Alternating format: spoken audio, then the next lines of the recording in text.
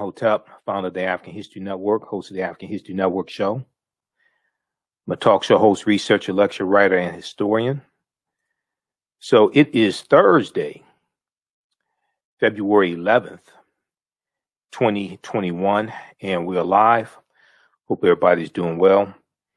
So I wanted to uh, come on and uh, do an overview of uh, the online course that I teach, the eight week online course that I teach uh, ancient Kemet, the Moors, and the Maafa, understanding the transatlantic slave trade, what they didn't teach you in school. Okay. So a lot of people have been asking, what am I, what am I going to do for African American History Month? And uh, last time I taught this taught this class was in 2019, but uh, I'm teaching a eight week, 16 hour online course that deals with thousands of years of history and deals with uh, what led up to the transatlantic slave trade taking place. Okay.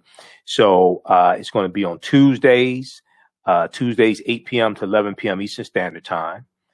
And uh, we'll deal with thousands of years of history. Uh, I do a PowerPoint presentation. We have book references, about 50 articles that I reference. And uh, we're going to have some guest speakers as well. Okay. So uh, join us uh, Tuesday, February 16th, 8 p.m. to 10 p.m. Eastern Standard Time. Uh, I'm going to post the information here on the thread of the broadcast and also visit our website, AfricanHistoryNetwork.com, AfricanHistoryNetwork.com. You can uh, register there for the online course. And I'm going to do a brief overview. Uh, we'll go through a few slides here, do a brief overview of some of the comment. All right. So uh, Tuesday, February 16th, uh, our guest is going to be Sister Nubia Wartford, Sister Nubia Wartford, who is a cultural anthropologist. And uh, we're going to deal with the African queens of antiquity. And she does archaeological digs in the Sudan. So we're going to talk about um, uh, some of her research and, and things like this and, and some ancient African history. And this leads us up to uh, the transatlantic slave trade. All right. And we'll deal with the 800 year occupation of Europe by the Africans known as the Moors. We'll deal with uh, ancient Egypt, ancient Kemet, things like that. All right. So when we deal with the transatlantic slave trade, we have to understand that we can't start studying it in the 15th century. We can't start in 1441 when the Portuguese go into Mauritania. We can't start in 1619 in Virginia. We have to deal with the fact that uh, African people are the original people of North, Central, and South America. And one of the books that I reference is um, The First Americans Were Africans Documented Evidence by Dr. David Imhotep. And many of you all have seen interviews I've done with him in the past or uh, heard interviews I've done with him in the past. Last time I interviewed him was October 12th, 2020, uh, when my um, radio show went to uh, the daily format. And uh, we're on Monday through Friday, 11 p.m. to 12 midnight Eastern Standard Time on 9 10 a.m. Superstation WFDF here in Detroit. And, but also we broadcast on our Facebook fan page, the African History Network and my YouTube channel, Michael Imhotep. Uh, Dr. David Imhotep was my first guest. And October 12th was Columbus Day or Indigenous Peoples Day, as many people uh, call it now, Indigenous Peoples Day. So uh, that's just one of the uh, many books we reference in the course. Okay, so I want to pull up the PowerPoint presentation here and we'll go over, do a brief overview of some of the things that we cover. And like I said, we deal with thousands of years of history and we deal with what led up to uh, the transatlantic slave trade taking place also. And you have to deal with the 800 year occupation of Europe by the Africans known as the Moors uh, as well, because the Moors are taking the teachings from ancient Kemet, ancient Egypt into Europe and is bringing Europe out of the dark ages. And um, they're teach, taking the math and the science and astronomy, uh, agriculture, all different types of things like this uh, into Europe. Okay, so just one second here. Let's pull up the. Uh... All right, so let's pull up the slide. Okay, so.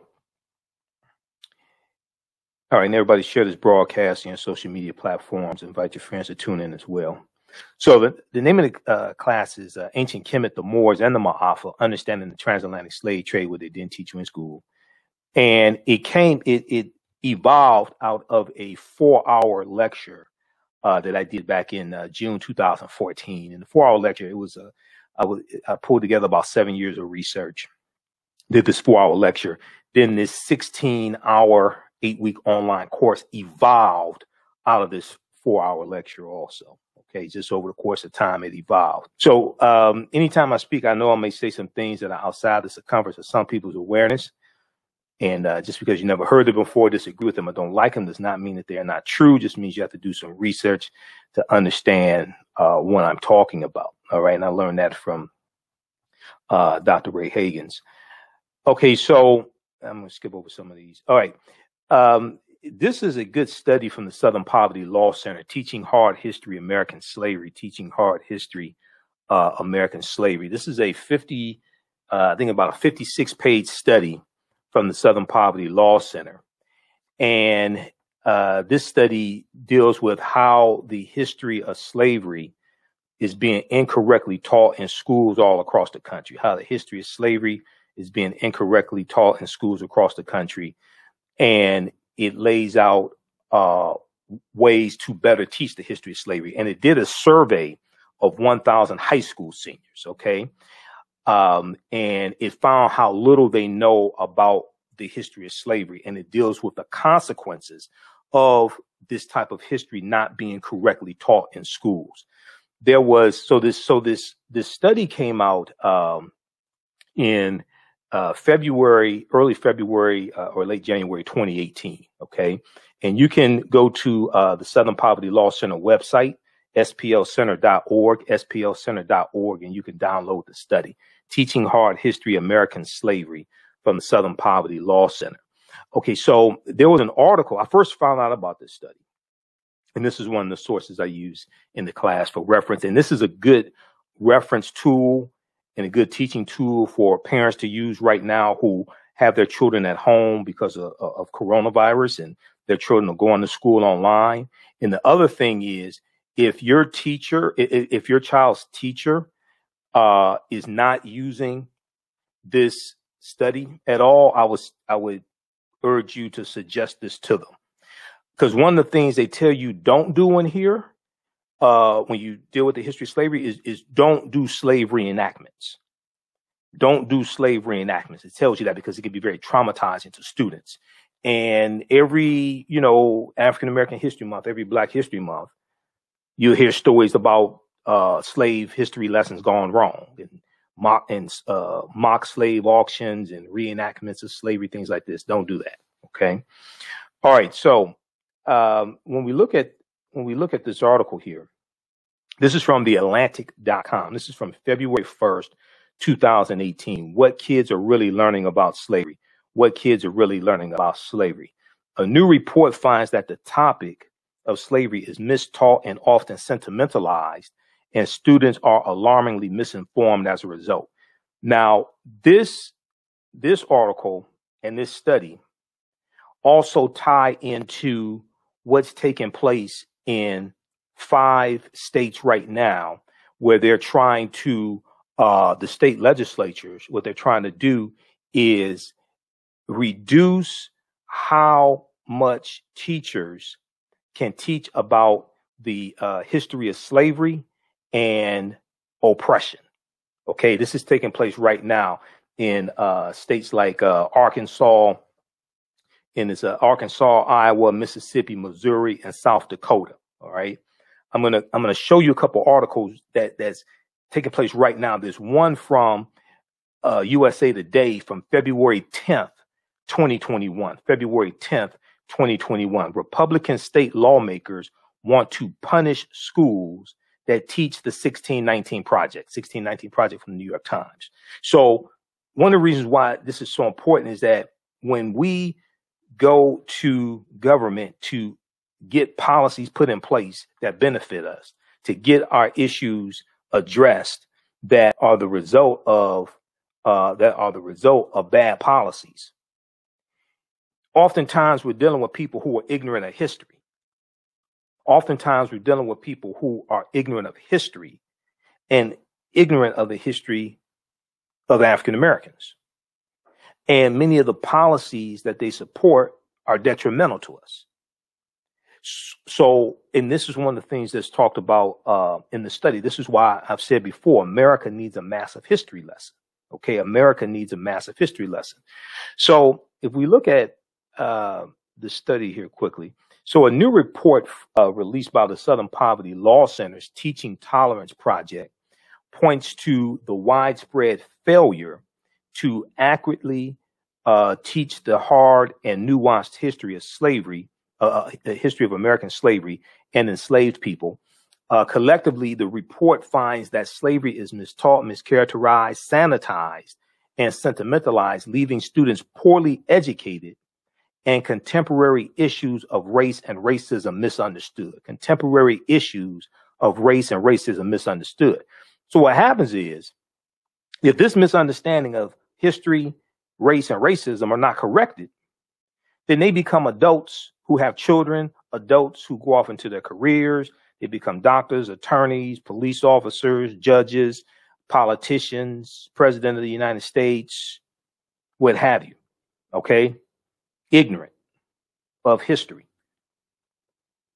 So let's continue. So, in what is described as the first analysis of its kind, Teaching Tolerance conducted online surveys of 1,000 American high school seniors and more than 1,700 social studies teachers across the country.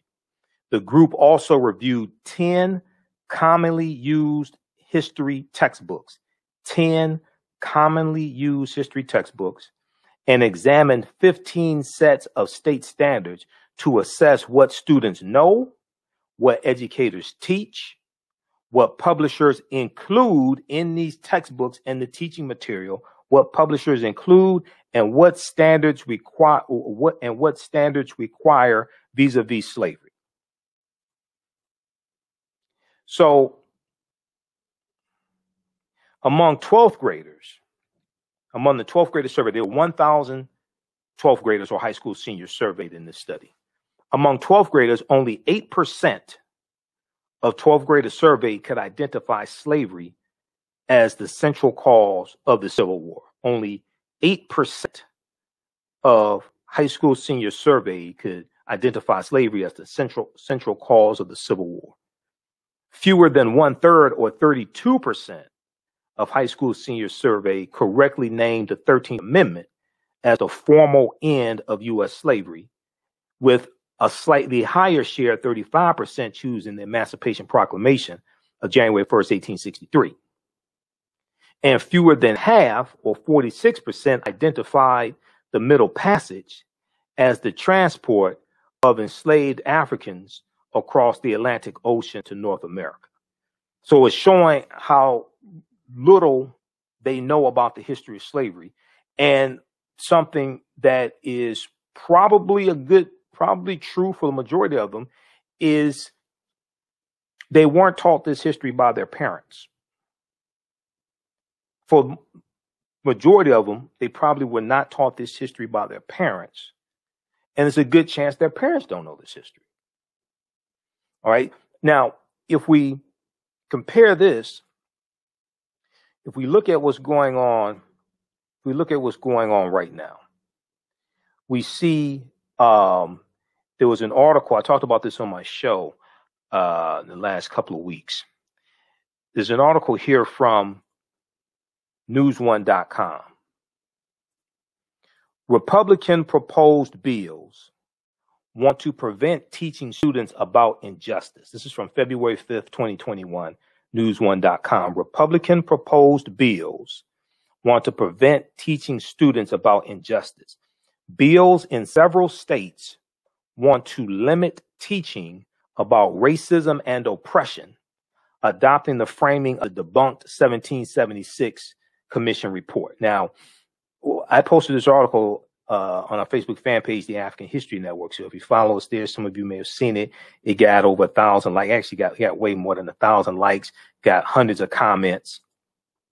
And this is an example of what I'm talking about because what this shows is the disconnect between people's understanding of history and the policies they support, meaning that when the policies people support and who they support in office has a lot to do with their understanding of history. and how we got to this point, the laws and policies put in place to bring about the conditions that we're dealing with today. Okay. Many people who are ignorant of history, for, for instance, we saw that Donald Trump vetoed when he was in office, he vetoed the National Defense Authorization uh, Bill, Nat- National Defense Authorization Act, about $741 billion bill. Part of the reason why he vetoed it was because it called for the renaming of military bases that were named after Confederate generals and Confederate soldiers. These were traitors to the Union. These were people who took up arms against the Union and committed treason against the Union based upon Article 3, Section 3 of the U.S. Constitution. They wanted to protect slavery. They wanted to protect their way of life. They took up arms against the Union. Okay. Incidentally, February 9th, 1861, I talked about this on my show a couple nights ago. February 9th, 1861, Jefferson Davis of Mississippi was elected president of the Confederacy, the Confederate States of America. Okay. The, the, the traitors who seceded from the Union, they're going to um, the Civil War, uh, February 9th, 1861, two months before the Civil War starts, starts April 12th, 1861, with the attack on Fort Sumter in South Carolina.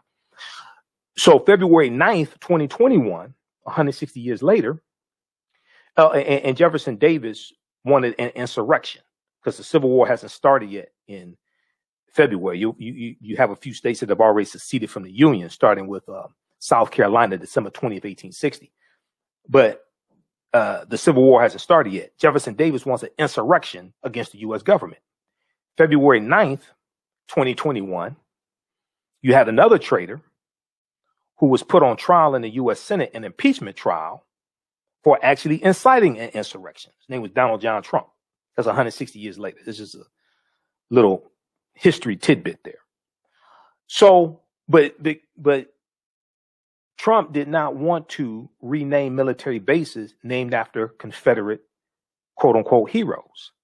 Okay. So what people, their level of understanding of history largely influences the types of policies and bills that they support and who they support in office. So if we go back and look and look at this here, this is taking place right now. Uh, in states like uh, uh, uh Arkansas, Iowa, Mississippi, Bills proposed in Arkansas, Iowa, and Mississippi prevent the use of the 1619 Project as part of teaching the legacy of slavery. The Arkansas legislature is considering two bills that would limit racial justice, uh, that would limit racial justice in the curriculum. House Bill 1231 will prevent schools from using the 1619 Project as part of the curriculum. House Bill 1218 goes a step further by preventing lessons that promote the overthrow of the U.S. government, okay, that permit that that promote the overthrow of the U.S. government, division between certain groups of people, or social justice for certain groups, including race, gender, political affiliation, and social class. Right.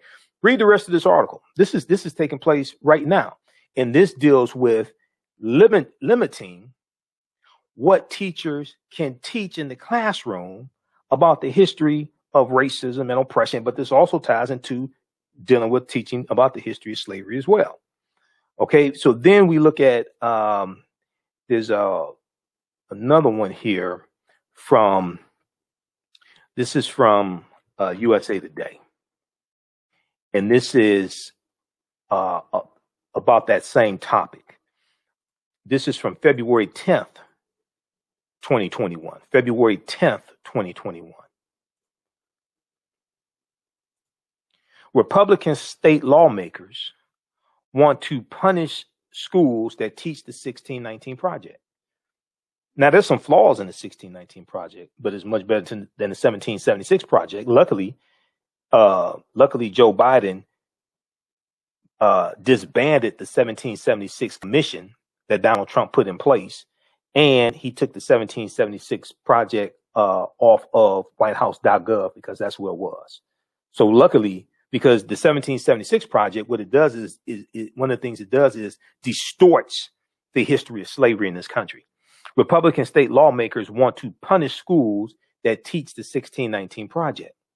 Okay, and then uh, it talks about how lawmakers in several state houses uh, this year want to stop lessons, want to stop lesson plans that focus on the centrality of slavery to American history, as presented in the New York Times 1619 project, pre, uh, uh, previewing new battles in states over control of civics education.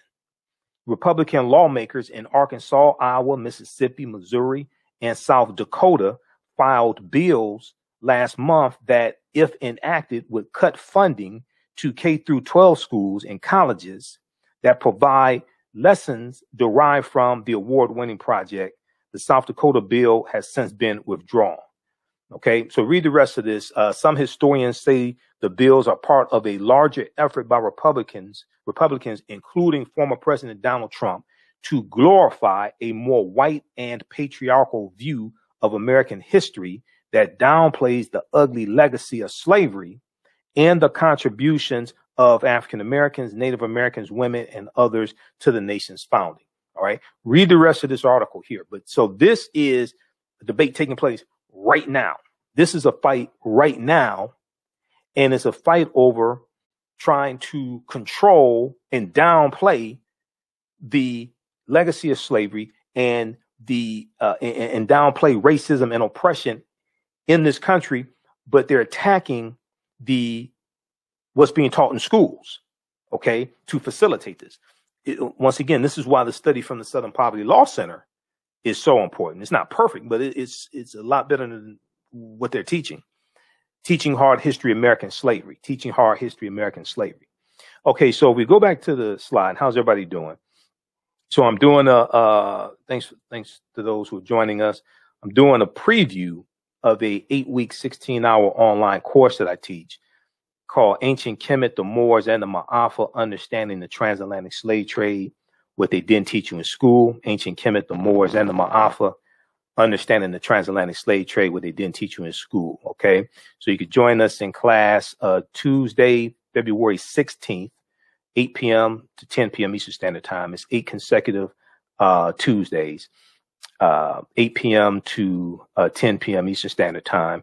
And we do a thousands of years of history. We deal with uh, ancient Egypt, ancient Kemet. Um, we deal with the 800 year occupation of Europe by the Africans known as the Moors. And we deal with what led up to the transatlantic slave trade taking place. And we deal with the transatlantic slave trade also. All right. So uh, as soon as you register, we posted the link here.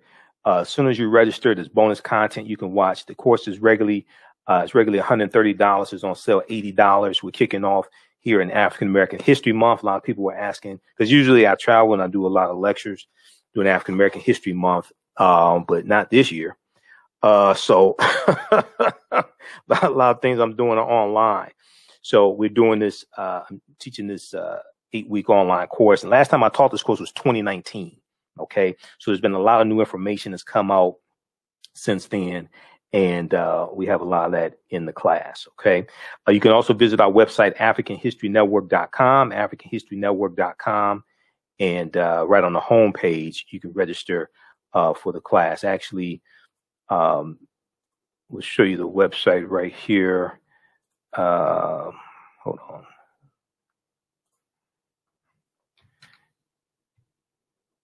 Let's see here. Just a second. Actually, we'll show you the website here.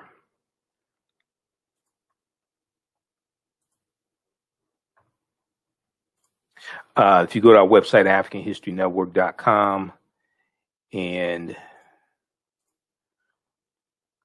turn this on here.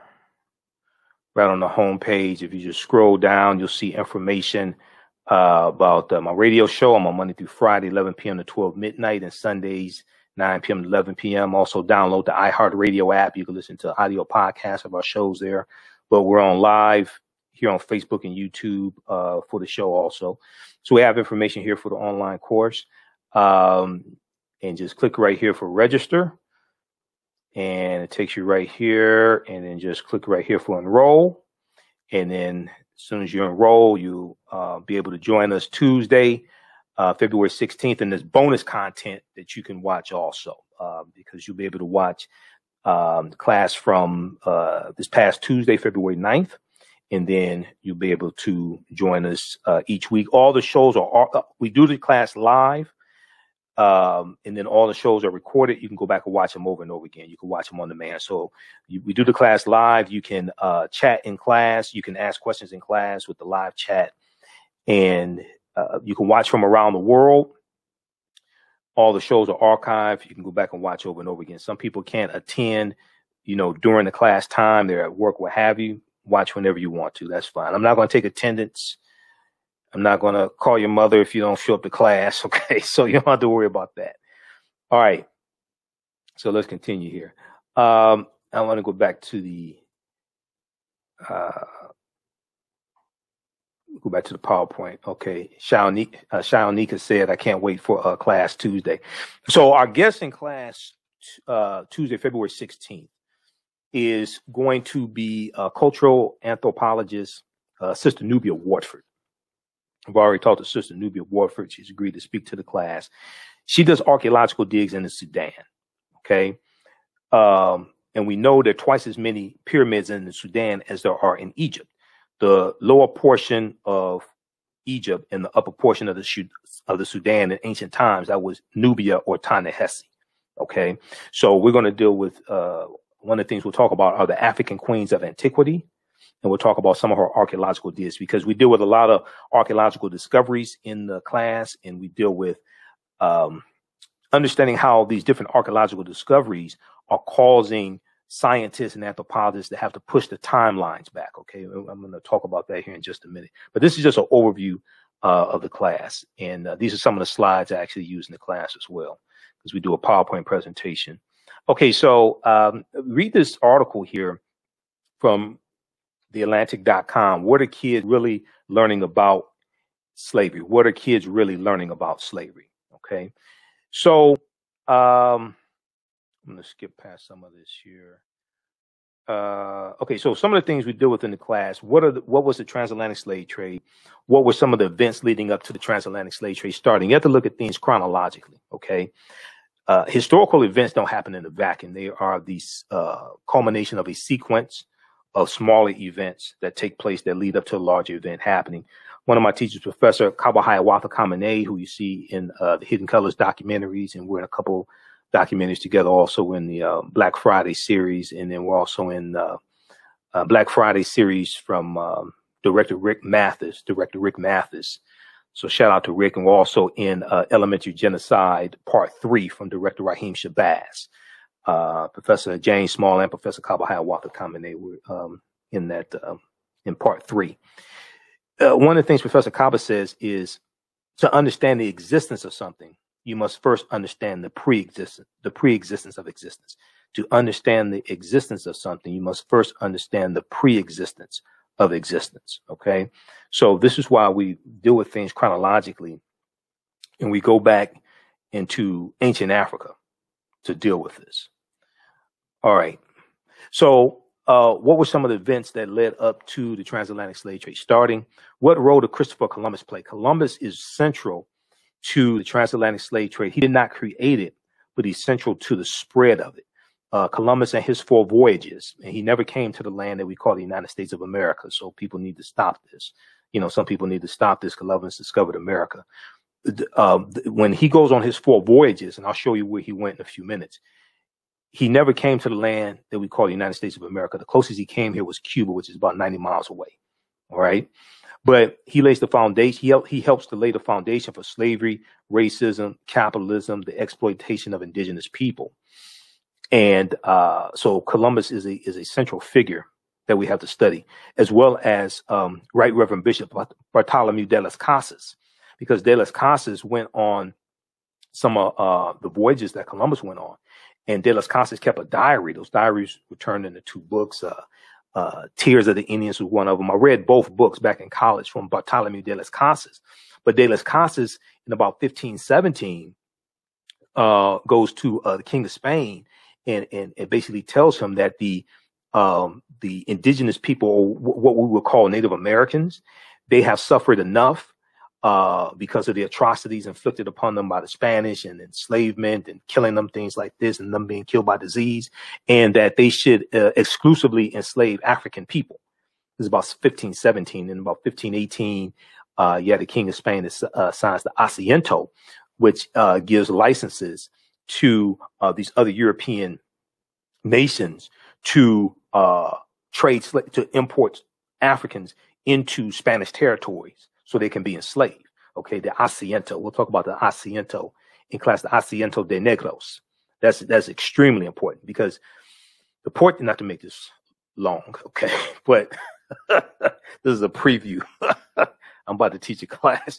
Um, the Portuguese were the first ones involved in the transatlantic slave trade of 1441, basically, right about 1441. But the Portuguese, the Spanish are going to be right behind the Portuguese, okay?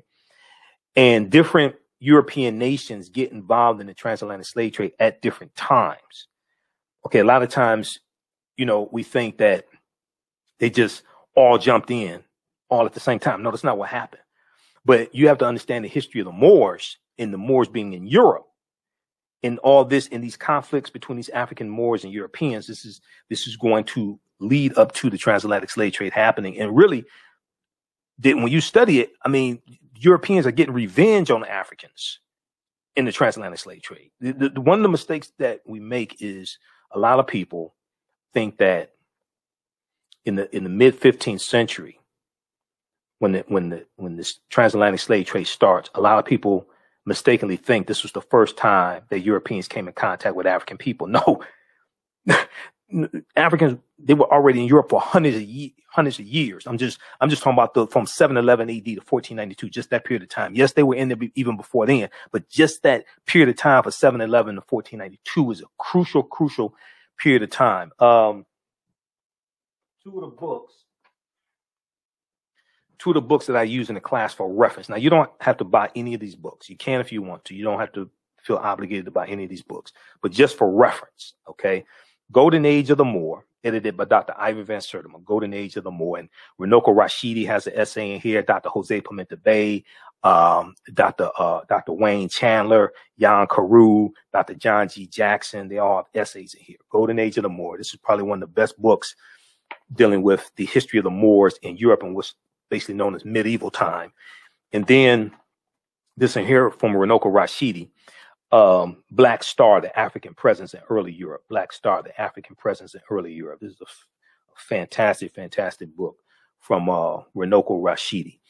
Okay, so those are just two books that I use as reference. All right, um, you don't have to if you don't buy any of the books, you'll still be able to follow along in class and learn in class. All right. Um, let me post them. How's everybody doing? Okay, we got John Ray, Nika, uh, just a few of people watching. All right, and we'll post the information here. You can uh, register for the online course. So it meets Tuesdays, 8 p.m. to 10 p.m. Eastern Standard Time. Uh, and uh, you know, some a lot of times I go over, a little bit over. I'm gonna try to stick within the two hours, but sometimes, you know, we may do two hours, 20 minutes, what have you. And uh, we do a thousands years of history. We're going to have some guest speakers also in the class. All the sessions are recorded. You can go back and watch it over and over again. It's interactive, it's visual. Uh, we have video clips, book references, about 50 articles that I cite. We have a PowerPoint presentation. So you're going to learn a lot. Okay, uh, we also deal with when did the first Africans come to the U.S. as slaves? When did the first Africans come to the U.S. as slaves? We'll deal with that history because it's also important to understand that in 1619, you know, uh, uh, 2019 was the 400th year anniversary of, of Virginia and those 20 and odd Africans or 20 and odd Negroes uh, on the White Lion slave ship being traded, or the White Lion pirate ship, I should say, the White Lion pirate ship uh, being traded for uh, water and food and supplies, right? But in 1619, Codified slave laws did not exist in any of the 13 colonies. Codified slave laws did not exist in any of the 13 colonies. This is another book that I use for reference, Before the Mayflower by Lerone Bennett Jr. Because when you read chapter two of Before the Mayflower, and I, I gotta caution myself, I need to keep this short, okay? Because I will do three hours right now. Um, and I, I have to do my radio show today too when you read chapter two of, of Before the Mayflower, Lerone Bennett Jr. talks about, um, you know, how in 1619, basically, uh, they didn't have codified slave laws. And but also in the back of the book, uh, he has a uh, landmarks and milestones, filling with history, landmarks and milestones. Okay, this is the sixth edition of Before the Mayflower by Lerone Bennett Jr. You see, I've had my copy for for years. Okay, it's a beat up copy, but if you go and look at um, it's like about 100 pages of landmarks and milestones. So it breaks it down basically like each year and landmarks in African American history. If you go look at uh, December 1641, December 1641, Massachusetts becomes the first colony to give statutory recognition to slavery. That's 1641. Other colonies followed Connecticut in 1650, Virginia in 1661, Maryland in 1663 uh, New York and New Jersey, 1664, South Carolina, 1682, Rhode Island and Pennsylvania, 1700, North Carolina, 1715, Georgia, 1750. The, the whole way that slavery really evolves in the 13 British colonies, I'm not talking about the Spanish colonies, I'm not talking about Portuguese or anything like that. I'm, talking, I'm not talking about the Dutch because the Dutch were in this land. This is where you get, uh, where you have New York and like the state of New York, and, and New York was a colony. Before it was the colony of New York, it was the colony of New Amsterdam, and that was a Dutch colony. Okay, you're going to have the French here as well. Uh, we know Detroit was founded by the French, but when you look at the the 13 colonies, the 13 British colonies, the way slavery evolves in those 13 colonies historically is different than the way most people think it evolves. All the, slavery didn't exist in all the colonies all at one time. It didn't just poof. Okay, we have slavery. No, it's going to evolve and hit different colonies. Okay, um, so in, in those first twenty and odd Africans, they're going to be put to a form of indentured servitude and released after about three to five years or so. In Virginia, at, at, at uh, Point Comfort in Virginia, and I, I show you this in the class, they have a historical marker there that tells some of this history and talks about them, you know, being released after a certain number of years and put into like a form of indentured servitude, something, something to that effect. Okay, uh, let's continue here.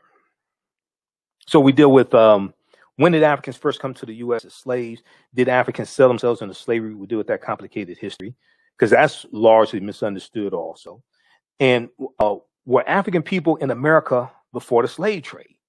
Which is a very, very good question because when you read uh you study like not just they came before Columbus, but the first Americans were Africans came into evidence by Dr. David Imhotep. We were here in this land going back at least 51,700 years.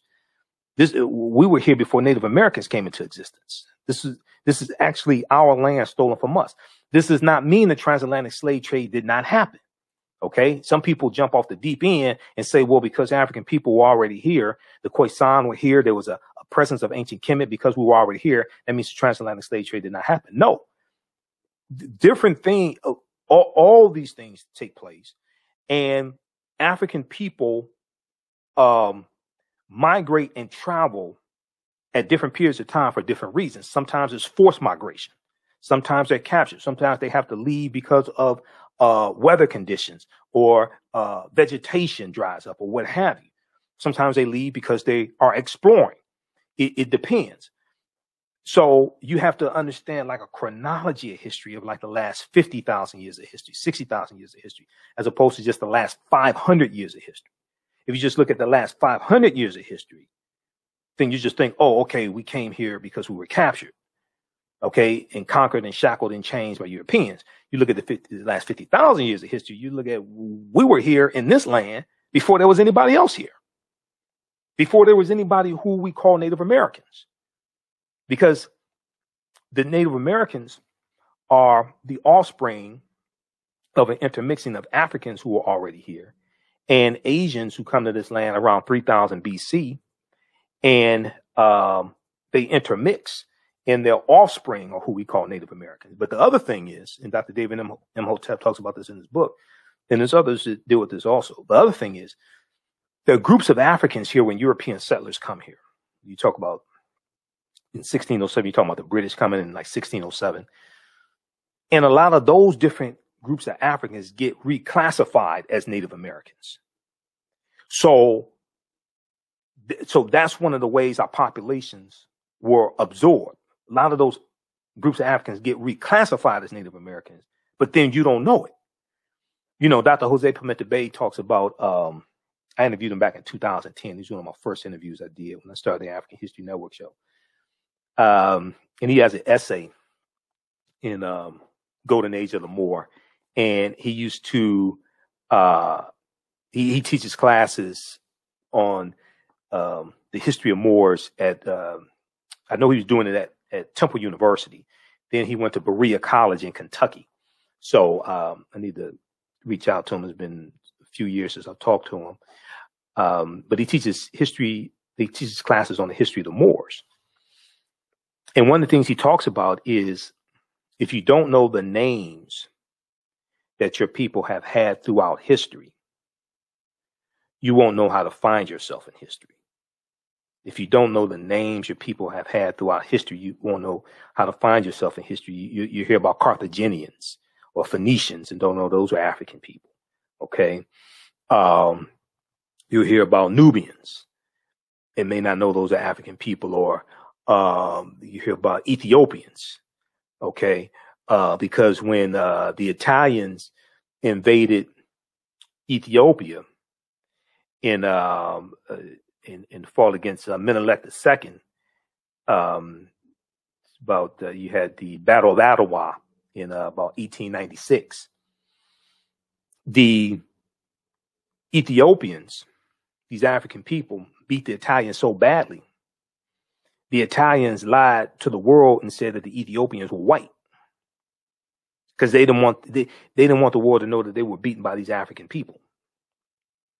Okay, so if you don't know the names that you've had throughout history, you won't know how to find yourself in history. Where you talk about Moors, where you talk about, you know, some people still confuse and think Egypt is part of the Middle East or ancient Egyptians were white or something like that, or brown skinned Caucasians. Right? okay, so all right, let's continue here. Uh, so we do with the 800 year occupation of Europe by the Africans known as the Moors, shocking archaeological uh, discoveries that are causing experts to rethink everything. We do with insurance companies that took out policies on slave ships and enslaved Africans on plantations, like the uh, Nautilus, the Nautilus Life Insurance Company, uh, which then becomes the New York Life Insurance Company. Okay, now in all fairness, it was like for three years um, that they were uh, involved in. in um, they sold policies on slaves on the plantations. Okay. They did this for like the first three years of their existence. Okay.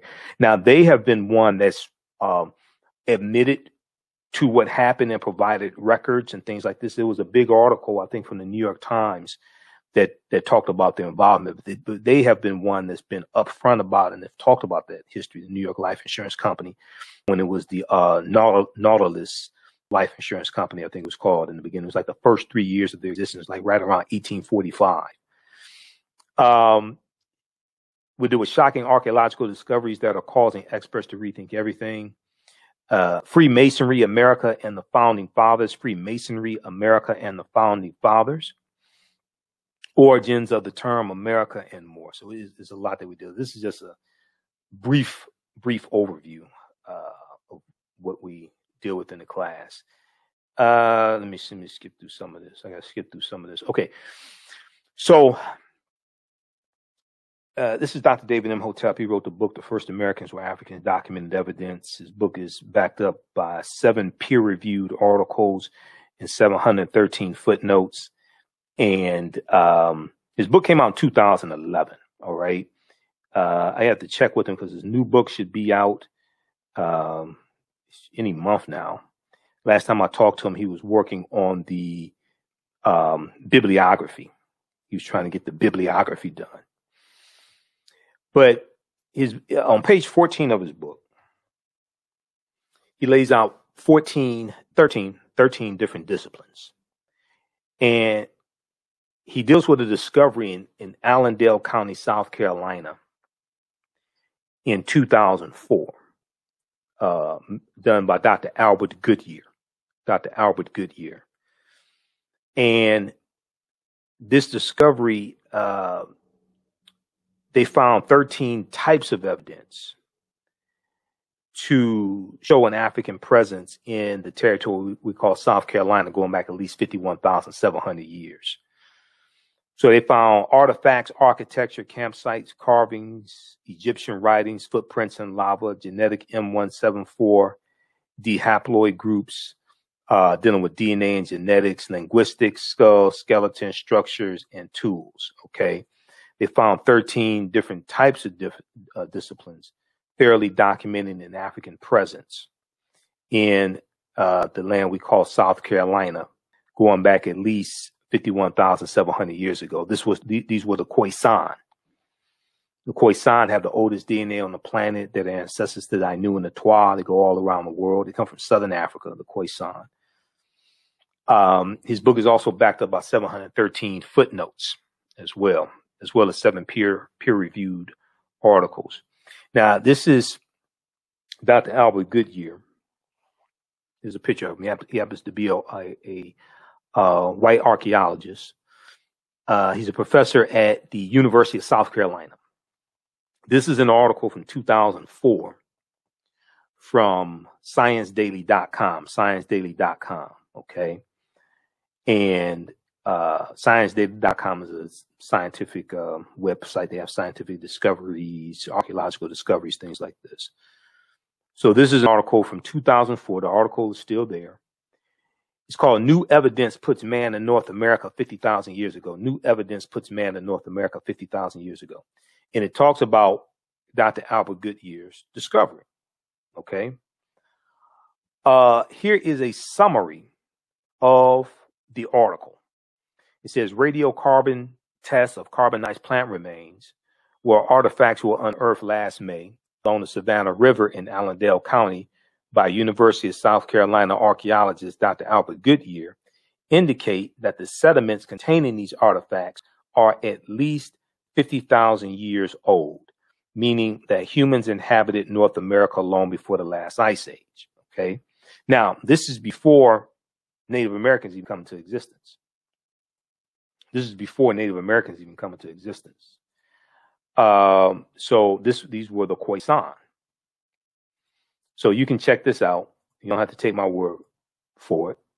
Proper doc, proper documentation in all conversation. You don't believe a word that I say. This is something that you hear me say in my presentations and uh, uh, Facebook broadcasts on my radio show in, in the class. Also, you know, I'll provide you with the with the research. I'll provide you with the evidence. You can go research this yourself. You don't believe you don't believe a word that I say. Okay, um, this is a this was a monumental discovery. This is from 2010, February 2010. This is from New York Times. All these archaeological discoveries, uh, a lot of them you, will read about National Geographic, New York Times, Washington Post, NBC News, the NBCNews.com. You'll have they'll have them on the website now. On MSNBC, you won't see a lot of these discoveries, but on um, in different news outlets, the, their their websites, you'll read about these discover- discoveries, okay? And these discoveries are taking place basically every month, if if not more frequent. This deals with uh, this is from February 2010. On Crete, new evidence of very ancient mariners. On Crete, new evidence of very ancient mariners. Okay, so here's an excerpt of what this article said. This, uh, this is an excerpt of this discovery. Okay, from the article. Stone tools found on the Greek island of Crete. Over two summers, over the course of two summers, they did excavations on the Greek island of Crete. And archaeologists say that these stone tools are at least 130,000 years old. Archaeologists say these stone tools are at least 130,000 years old, which is considered strong evidence for the earliest known seafaring in the Mediterranean and calls for rethinking the maritime capabilities of pre human cultures. So, you know, Runoko Rashidi, Dr. Charles Finch, other African descendant scholars have been saying for years that at least 130,000 years of our history is missing. When these archaeological discoveries like this take place, and we talk about a lot, of, we talk about a lot of them in the class. When these archaeological discoveries take place, the scientists, the paleontologists, the archaeologists, etc., they say we have to rethink everything, and they have to push the timelines back. They have to push the timelines back. They they start talking about how all of these things are much older than we think. Remember, Juvenile had the song like back in 1999, back that thing up. They keep having to back that thing up. They keep having to back the timelines up. When you read uh, when you read these articles about these studies, it says Crete has been an island for more than five million years, meaning that the tool makers must have arrived by boat. So this seems to push the history of Mediterranean voyaging back more than a hundred thousand years. They have to back that thing up. They have to back the timelines up. They say, wait a second, hold on. Humans were sailing a hundred thousand years before we thought they were sailing.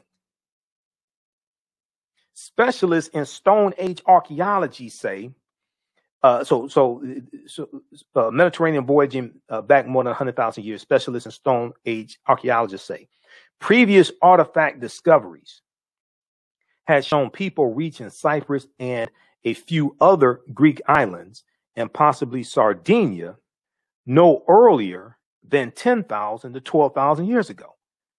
So they so they have to push the timelines back. They're saying, wait a second, they were humans, it appears, were sailing 100,000 years prior to what we thought. This article is 11 years old. This discovery is 11 years old. There's been a lot more that they've discovered since then. Because this article from the New York Times, the science section, February 15, 2010. Okay. All right. So you can check it out. Um, that's just a sample of some of the archaeological discoveries we did with because what we're going through, we, build a, a foundation, a historical foundation to better understand what's coming in the class and better understand history and these archaeological discoveries and deal with a chronology of history. That's extremely important. A, a, a chronology of history and understand cause and effect. Okay, so um, very quickly here, let me see. It was uh, just a couple other things I want to show you. Let's look at. Um, uh, we look at. Okay, so we talk about um, 800 year occupation of Europe by the Africans known as the Moors, and the Moors losing control uh, of the last stronghold, Granada in Spain, January 2nd, 1492. We'll deal with that.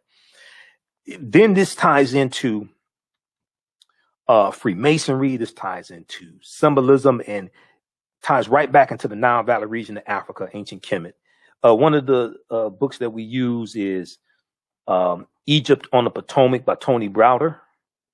Egypt on the Potomac by Tony Browder and Nile Valley Contributions to Civilization. Okay, this is a book. Um, when I was doing my lectures dealing with the uh, history of St. Patrick's Day, I had to study Irish history to get a better understanding of St. Patrick's Day. So this is one of the books that I read, uh, the Everything Irish History and Heritage book, because I've done lectures dealing with the history of all the um, uh, European holidays we've been taught to celebrate Christmas and Easter, St. Patrick's Day, things like this.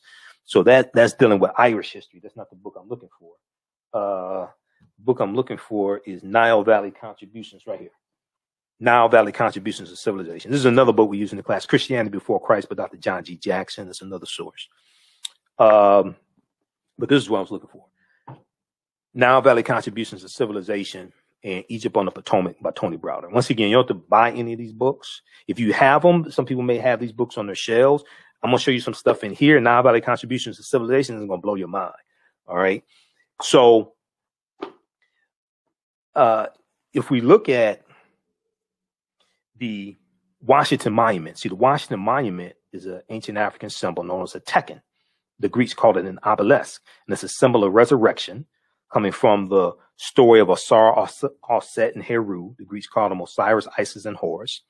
And In ancient Kemet, ancient Egypt, as we see uh, on the left, uh, my left, um, you'll see it there. There were 1,200 tekhenu, tekhenu for plural, in ancient Kemet or ancient Egypt.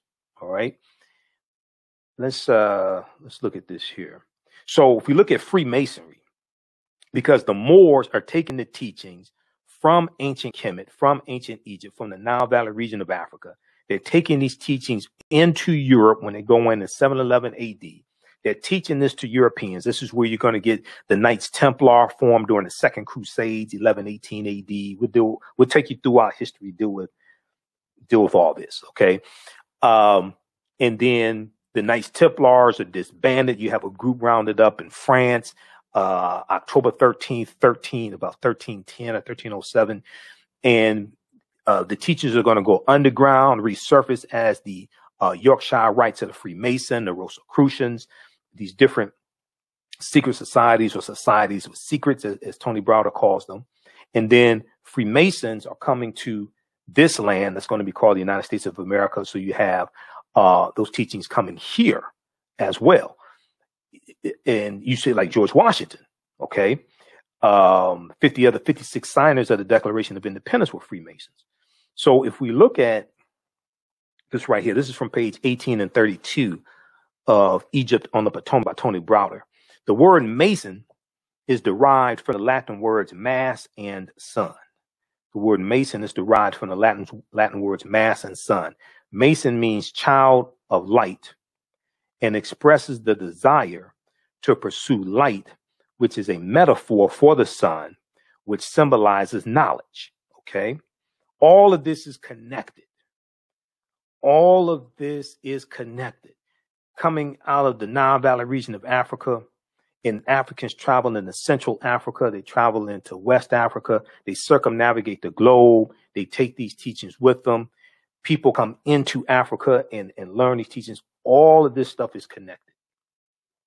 So the term child of light or sons and daughters of light was first used to identify students who had completed 42 years of study in the temples of ancient Kemet. Many Masonic temples were modeled after the temples of Kemet, places where light or knowledge was imparted in a series of steps or degrees. So when you go to a higher, when you go to a liberal arts college in the several, in the liberal arts, we're going to see that originate in ancient Kemet um, when you go to a liberal arts college or go to college in general, and you get your credentials in a series of degrees associate degree, bachelor's degree, master's degree, PhD, what have you this is where that's coming from. You're getting your credentials in a series of degrees.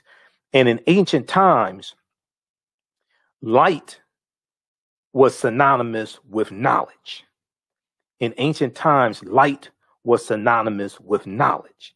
So the term child of light or sons and daughters of light was first used to identify students who had completed 42 years of study in the in the lodges, okay, the temples of ancient Kemet. Um, many Masonic temples were modeled after the temples, places where light knowledge was imparted in a series of steps or degrees. So even today, if you have a child in class and the child is smart, you may say that's a bright child, bright, associated with light, associated with knowledge. That's a bright child. If you watch a, a cartoon and it, it may be Doc McStuffins or any of these other cartoons, uh, uh, my daughter likes uh, Paw Patrol, right? Paw, I ain't know nothing about Paw Patrol till she started singing the song. Okay, so I never heard of Paw Patrol, but it may be Paw Patrol or it may be older cartoons, uh, uh, Tom and Jerry, things like this, right? And then the cartoon character gets an idea and a light bulb goes off over the cartoon character's head. Okay. That's symbolizing not light, symbolizing knowledge. That's ancient. But then also darkness is associated with ignorance. So if you have a child who is not too bright, right? you may say that's a dim child, D I M, or dim with it. That's a dim child, absence of light. Okay, darkness associated with ignorance. When you look at Europe going into the dark ages, it's a, a period of hundreds of years of ignorance. And it's going to be it's going to be the Africans, these Moors, who go into Europe in 8th century AD, take the light of ancient Kemet, take the knowledge of ancient Kemet and the Nile Valley region of Africa into Europe to bring Europe out of the dark ages. And then the next age, the next age is the Renaissance age, which is a, a new late age of enlightenment. Enlightenment, light, L I G H T, associated with knowledge, awakening. Okay, so all of this is all of this is connected. All right, so very quickly here, how's everybody doing? Okay, uh, so once again, the class meets on Tuesdays, 8 p.m. to uh, 10 p.m. Eastern Standard Time. Ancient Kemet, the Moors, and the Maafa, understanding the transatlantic slave trade, what they didn't teach you in school. Uh, we deal with this type of information and um, a chronology of what leads up to the transatlantic slave trade taking place. You can register for the class at our website, AfricanHistoryNetwork.com, AfricanHistoryNetwork.com, right on the homepage. You'll see the information. Click on register here. Um, it's on sale, $80, regularly $130. We do the classes live on Tuesdays. All the sessions are recorded. Uh, so you can go back and watch it over and over again. You can watch from around the world. You don't have to be present in class. You can ask questions in class. We have a live chat. So it's, it's visual. We have the PowerPoint presentation, video clips, book references. There's about 50 articles that I reference, and we're going to have some um, special uh, speakers as well. So uh, uh, Tuesday, February 16th, 8 p.m. Eastern Standard Time, uh, 2021.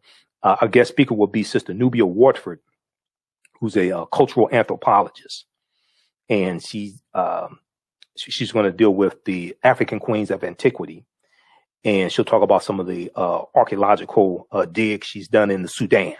Okay, and there's more archaeological evidence of uh, ancient Africa and you know things like this in the Sudan than there is in Egypt. There's twice as many pyramids in the Sudan as there are in Egypt. Okay, so uh, visit AfricanHistoryNetwork.com uh, to register, and we just posted the link here. And as soon as you register, there's bonus content that you can watch uh, also, and um, you can watch the class we did this past Tuesday, February 9th as well. All right, so this meets eight consecutive uh, Tuesdays, okay? All right, so Freemasonry. Uh, did you know that 50 of the 56 signers of the Declaration of Independence and 13 of the 39 signers of the U.S. Constitution were Freemasons?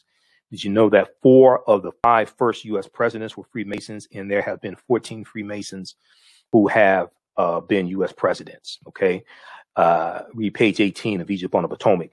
And then also you deal with Benjamin Banneker, who did the surveying uh, for the layout of Washington, D.C.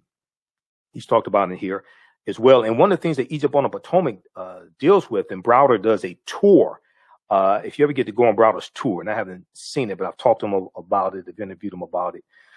Um, his book deals with how the layout of Washington, D.C. is basically a copy of the layout of ancient Egypt. Okay. And he takes you on his physical tour. He takes you on his tour around uh, Washington, D.C., and shows you the symbols and things like this and how that all connects back to ancient Kemet, ancient Egypt. All right, it's it's it's, it's fascinating. He was interviewed um, back in I think it was 2016 or 2015. He was interviewed on News One Now. Um, uh, was um, there was an attorney sitting in for Roland Martin, uh, Mo. Uh, I forgot forgot her name, but she was sitting in for Roland, and um, she uh, interviewed Tony Browder. Okay, um, I want to say Mo Kelly, but I, I don't think it wasn't Mo Kelly. It was um, forgot who it was, but it's it's at uh, newsone.com's uh, website. Let me see. Discover ancient Africa's influence on America. Discover ancient Africa's influence on America, and um, Mo Ivory. That's who it is. Mo Ivory.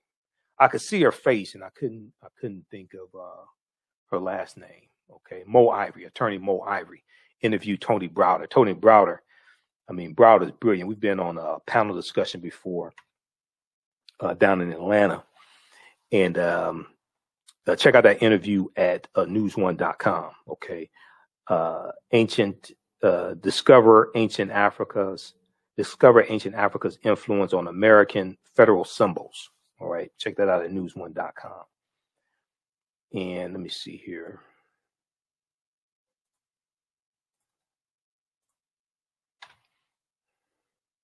Since we have the screen share, I can show it to you.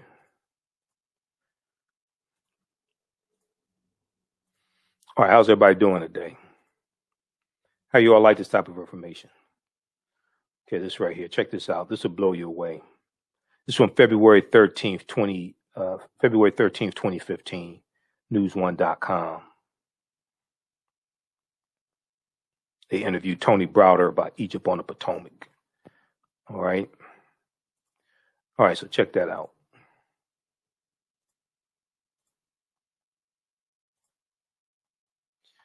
All right, let's continue here. We'll be here for a few more minutes.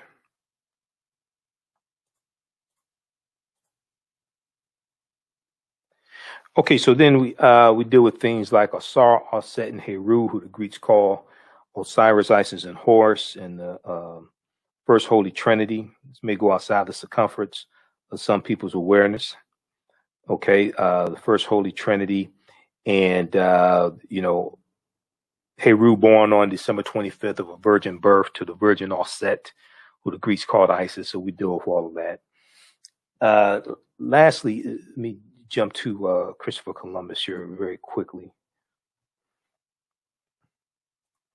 So we deal with we have to deal with uh, Columbus and where Columbus went on his four voyages. Okay, that's extremely important to understand this. And more and more cities and states are celebrating Indigenous Peoples Day, which is good. Okay, which is very good. But when you look at where Columbus went on his four voyages, he never came to the land that we call the United States of America. If you go to history.com, which is the official website of the History Channel, and uh, just search for Christopher Columbus, they have a lot of information there to show you where he went on his four voyages. But uh, he set sail August 3rd, 1492, on the Nina the Pinta de Santa Maria and he uh, lands in uh, the Bahamas, or what he calls San Salvador, on October 12th, 1492.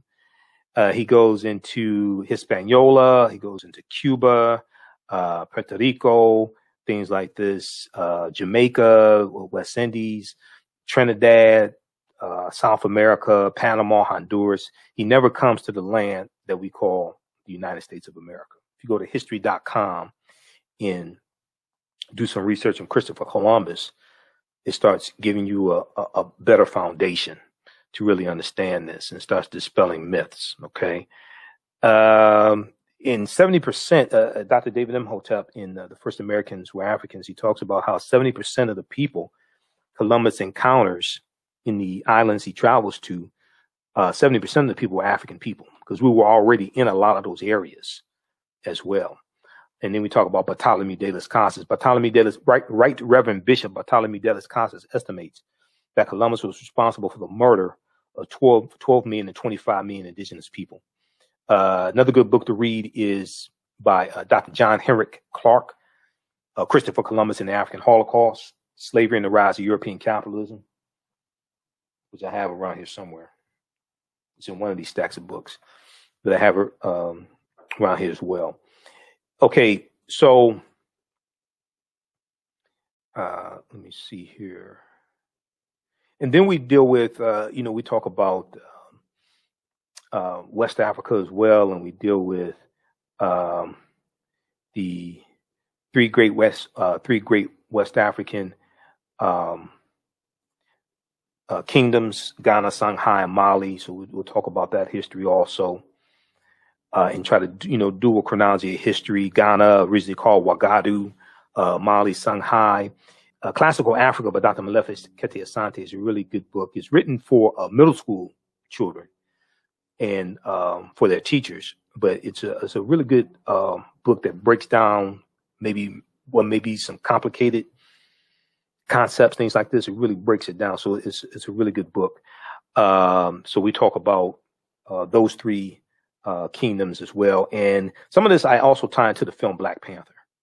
Uh, I've done a lot of research on the film Black Panther. We deal with the fake Willie Lynch letter 1712 because Willie Lynch never historically existed. Also, this is Professor Manu Ampim, brilliant historian. I just interviewed him. Uh, I interviewed him in 2020 also, but uh, uh, we dealt with in 2020 we dealt with uh, the passing of Representative John Lewis and, and some civil rights history and uh, Kwame Ture, Stokely Carmichael, the Black Power movement, and Kwame Ture, Kwame Ture winning the chairmanship in 1966 of SNCC, and uh, John Lewis and others leaving SNCC. Uh, SNCC goes um, uh, in another direction, goes in the Black Power direction.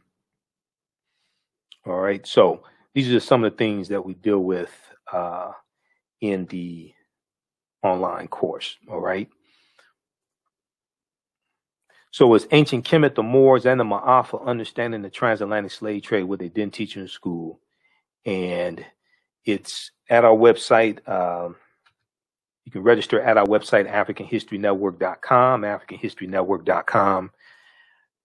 Right on the home page. How's everybody doing? Uh, it meets Tuesdays. Tuesdays 8 p.m. to 10 p.m. Eastern Standard Time. Okay. And it's right on the, uh, when you go to our website, AfricanHistoryNetwork.com, uh, it's right on the home page. We'll post a link here again uh, so you can register for it. As soon as you register, you can start watching bonus content, and there's more bonus content uh, that I'm adding also.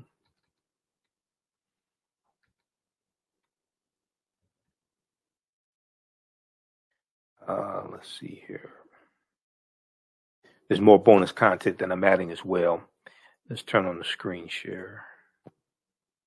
So this is something good for African American History Month. Now, a lot of people want to know: Can my uh, child use this? My son or daughter? Is it uh, child friendly? I would say it's PG-13. I don't do a lot of cursing and things like that. I'm not trying to be vulgar, but there are some, you know, maybe some unpleasant topics that we have to talk about. But I would say it's PG thirteen. Okay, that's how that's how I would put it. So if you go to our website, AfricanHistoryNetwork.com, scroll down, you'll see the information for uh, uh, a radio show. You can read articles that I write here also. I think it may have 50, 60 articles I've written. And then it has information here about the eight week course. Click right here for register here. It takes you right here, 16 uh, hour online course, and then just click right here for enroll. And as soon as you enroll, you can start watching content. Okay. And you'll be ready for Tuesday. Uh, we have bonus content there, but you're ready be ready for our Tuesday class of February 16th. Okay. All right, so we'll post a link here. Uh, be sure to listen to the African History Network show Sunday. Uh, well, for four years we were on only Sunday. As of October 12th, 2020, we're on six days a week. Okay, so be sure to listen to our show Monday through Friday, 11 p.m. to 12 midnight Eastern Standard Time. Monday through Friday, 11 p.m. to 12 midnight Eastern Standard Time, the African History Network show. And then uh, also Sundays, 9 p.m. to 11 p.m. Eastern Standard Time. We broadcast here on our Facebook fan page, the African History Network, and on our YouTube channel, Michael Imhotep, I M H O T E P. And I'm on um, also on 9 10 a.m. the Superstation WFDF. I do uh, in Detroit. I do radio here in Detroit also. Okay. All right. So be sure to um, be sure to check that out. And we'll see you all in class. Uh, if you have any questions, you can email me, ahnshow at africanhistorynetwork.com, ahnshow at africanhistorynetwork.com. Okay. Um, have any questions, AHN show at AfricanHistoryNetwork.com. Also, if you want to um, pay through Cash App, because when you go to our website, you can pay through PayPal or debit card, credit card. But if you want to pay through Cash App, uh, email us also. Okay. Um, and if you, uh, once again, uh, if you can't make it Tuesdays, you can't make it Tuesdays. The shows are archived. We we do the show live, we do the class live, and we record the class, so it's archived there, okay, at the at our online platform or at our online school. It's archived, so you can go back and watch it whenever you want to, over and over again. So if you can't watch it to Thursday or Friday or Saturday the weekend, you go back and watch it. That's fine. You don't have to be in class live to watch the class or participate or you know get the information. All right. Okay, look, hey, we got to get out of here. Remember, at the African History Network, we, fo- we focus on educating, empowering, and inspiring people of African descent throughout the diaspora and around the world because right now it's corrects wrong behavior. Hope you're learning a lot for the month of February, African American History Month, Black History Month. Remember, right now it's corrects wrong behavior. It's not over till we win. Wakanda forever. And we'll talk to you next time. Peace.